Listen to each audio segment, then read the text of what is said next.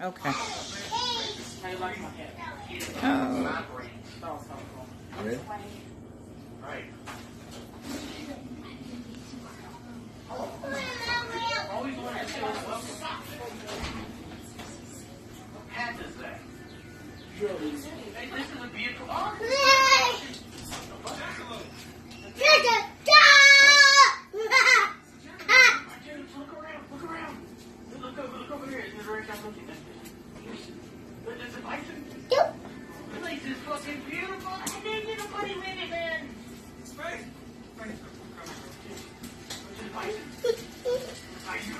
Take the back. Here.